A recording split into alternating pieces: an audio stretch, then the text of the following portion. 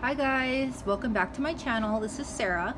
I have a wonderful, exciting package to share with you guys. I did some shopping over on Instagram with Sarah from uh, Crafty Paper Bits. Uh, here's her business card. So Crafty Paper Bits on Instagram. Her name's Sarah. I purchased some of the items from her. She has auctions. I'm not too sure how often she has them, but this is what I purchased from her and I'd love to share it with you guys. She did give me a freebie, a Happy New Year French postcard, which I'm super excited about. I love it. So let's just dive right into it and see what we have. She tied it up in this beautiful bow. It looks like a Christmas present, which I'm super happy about. So let's kind of take a peek at it. Oh, look at these girls. I'm so excited. And I needed the numbers. I have uh, the uh, initials, but not the numbers. So I needed, definitely needed to get those. Sorry for the crinkle. But let's see what we have. Okay. So first up we have these beautiful number initials. I use these for slow stitch and for putting on my journal covers and throughout my journals as an embellishment. And I love the large numbers and the numbers that are spread out. And I only had initials, so I definitely needed these. So I scooped these up. I scooped this up. I was so excited about it. It has a monogram. It's some really old fabric, like super vintage fabric. I believe it's some kind of hemp. It's a large piece. Yes, it's a very large, uh, I believe it's like a kitchen cloth of some sort, but it has initials on it and it's definitely a hemp material. So I'll be using this in my slow stitch as well as for my journal covers, for the spines. And it's super thick and very strong and durable for the journal spine. And I love the, the color and the texture of it. It looks very rustic. So I'm very excited about that. Put these here. Oh wow, look at this. So I got some very old vintage tickets that I'm going to be using as embellishments for my collaging. You should definitely check out her shop. It's on Instagram. I love these. I like to collage and make like mini cluster collages in my journals. So that's perfect for that. Oh, and here's some more. Sweet. I definitely, I never or sorry, I didn't have any um, vintage tickets, so I definitely needed those. Oh, what else? Oh, look at these. These are very old French lottery cards. They're like more like boards, so I can use these in my decor. And I could possibly use them as like a journal cover maybe or I could just stuff them in a pocket. I can scan these and use them in digital art. So I, I definitely wanted to scoop these up when I saw them. Super antique looking. I love them. I could even just display these on my wall. So I'm happy about those. Uh, let's look at this bundle of goodies.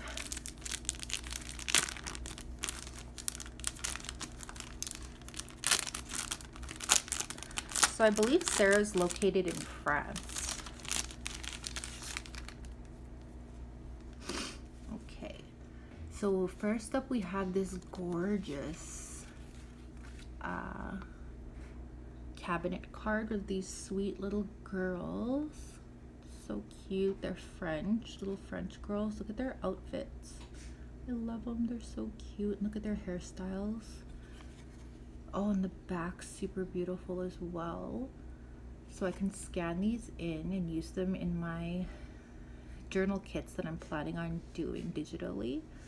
And I could also use this in the front of a journal. So I'm excited about that. I also got this one. Oh, look at this. Wow, look at her dress. What is this? Okay, it looks like um this is 9th, July 9th. It looks like it was cut off from maybe there was more to the picture, but I still love it. She looks so cool. I love the way she's dressed. Like you can see her shoes, the way the style of clothing is. It's so interesting. I love this picture. I also got this group of holy cards. These are authentic. Look at the beautiful like lithography of them. Wow. Oh, that's interesting.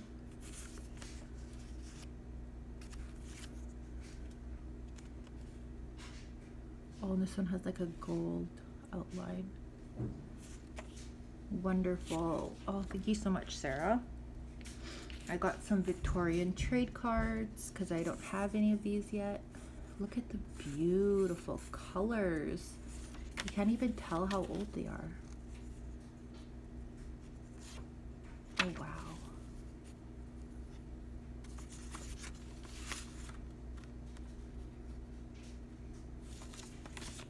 That's stunning. Oh.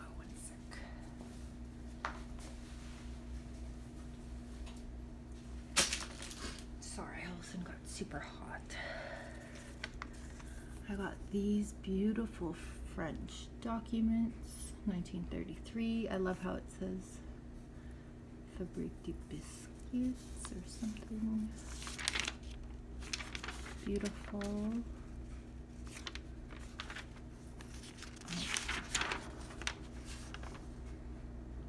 Love it, love it, love it.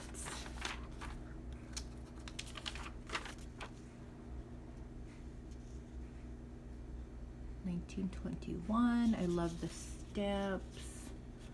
I love just the way the writing is. Cannot wait to use these in my art. Cool. I love the, the colors. I can definitely use this. Oh wow, look at this big pile of goodies. Oh my goodness. Oh, first let's look at this. I was really excited about this. So this looks to be like cotton rag paper ledger and then it has the dry stamp. Yes, it definitely feels like cotton rag paper. And look, it's from 1832. You guys, look at this. Wow. I love, love, love this. Especially since it's a rag paper. It's just gonna look and feel so much more textural in my journal. I cannot wait to use this. Oh, wow. Look at that, you guys. Oh, I can't wait to use this. It's so pretty. I love it. Liquidation, quittance. Oh, wow. I love it. This is from 1832. Okay, I'm really lucky that one came with the heading. So I can even, I can like scan this in and use parts of this in like digital art as well and then use the original in a journal or two. I could probably use this in maybe maybe four journals. I could um, put it in half and then put have two pages and two pages. Yeah, I think I'll do that. Just to, you know, spread it out a bit. And she put it on this really cool board. Look at that. That's how she kept the paper all sturdy like that. And then I got all of these beautiful documents. Okay, what does this say? This is definitely rag paper. Oh, wow, look at this. look at that. It's like a, oh, it's a document that's typed out, but at the same time, there's handwriting on it. I love how there's that number there. And the color of the ink is blue. I love that. Oh, I love this. This is, oh, this is so beautiful. Look, you can see the indentation from the words. This is gonna look so good in my art. in my journals. Just like the texture and the way it looks. It's gonna add something special for sure. Okay, what else? Oh, look at this one, you guys. 1880. Ooh, and they have the, the dry emboss with the stamp. Look at that heading. I love this. And look at how delicate the writing is. I love like having different types of writing because I, I do have like um, manuscript documents like this, but I bought like a super thick manuscript, so it's all the same writing. So I needed like different fonts to put in my journal so that it'll add like different elements. Wow. Okay, let's see. Oh, look at this, you guys.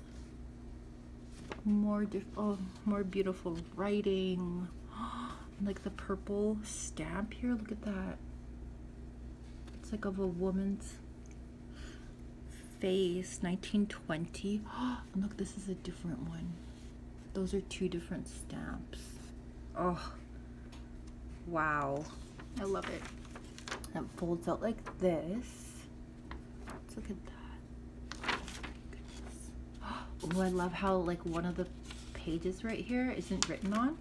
So when I put this in a journal, I could put it like this and then one side will be space for the person to journal. And then on the other side there will be writing on it. So it'll add interest as well. No there's still spaces here. So and then on this side I'm gonna put it in a journal like this probably. Have the stamp here. Or um, I could put it in this way. But if I put it in this way then it's gonna look like this which is okay. And then the other side will have the stamp. So uh, you'll you'll see how I use them I'll take you along with me for the ride.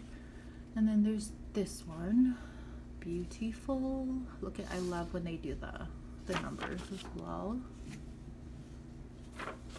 That's a single page. And this is all laid paper. And I believe the first one is cotton rag paper. Ooh. 1901. Look at this one, you guys. 1882. Oh, I like when I can see the different style of the tax stamp. Look at the way they did the P there. Oh, I love it.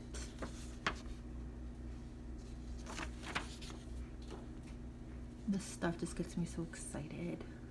Look at their signatures. Beautiful. Ooh, look at this one. It's blue. I wanted one that was blue. I didn't know this was blue. I'm happy, very, very happy that I have one. Awesome. And I love how there's space here. Oh, I love this. Yes.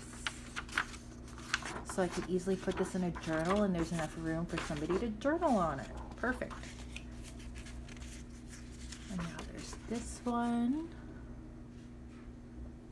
How are you guys doing? I hope you guys are doing really, really well. I'm doing a lot better.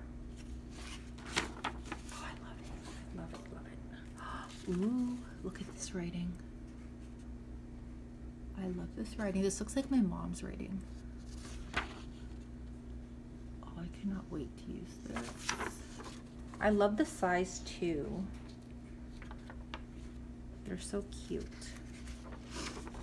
Look at this one. Ooh, I can use that in digital art, the stamp. 1909. Oh, I love that. I love the look of that. It's gonna add so much to my journals. 1913. Very cool. Ooh, this one, I believe this one's rag paper. Look at how cute that writing is. Like, can you imagine, like, if you are a collage artist and you needed something to collage on, like, this is perfect. So I'm thinking of making, like, an art journal book for, like, collage artist people, or just for people who like to um, collage. It's going to have a bunch of authentic papers and then they can make collages on each page. I'm thinking I'm going to do that. And you know, a lot of us just like to have journals with these type of papers just to feel them, look at the texture, the writing. It's, it's just special. Wow, this is never ending. Look at this pile. Okay, 1884. Ooh, look at that texture of that paper. You can see it's laid paper. Oh, that's so cute. I love this. Okay, that's a double page. Oh, and there's stamps on this one too. Awesome. Okay, thank you. Thank you, Sarah. Thank you, thank you, thank you. Thank you so much. Look at those stamps. You know, when I see stamps and stuff, I think of them differently now that I see how like Sam Poole and like Lorna Taylor from Taylor Made Journals, how they use like these kind of stamps and then they turn them into real stamps. I think that's super cool. And last but not least, Ooh, I love the way this calligraphy and the way the pen, the ink of the pen. It's nice and dark. Right on, 1897. Well, that is my beautiful haul for you guys. I shared all the stunning documents with you. Um, if you guys are interested in possibly getting some beautiful old antique French ephemera like this, then please head on over to Sarah's shop. She's on Instagram. Uh, let just grab the card one more time.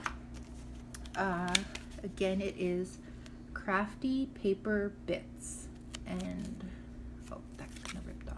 But yeah, her name is Sarah, and you can find her on Instagram, Crafty Paper Bits. I'll leave the uh, title of her shop in the description. And yeah, so what do you guys think of my wonderful haul? Let me know what you guys think. And um, hope you guys are doing very well.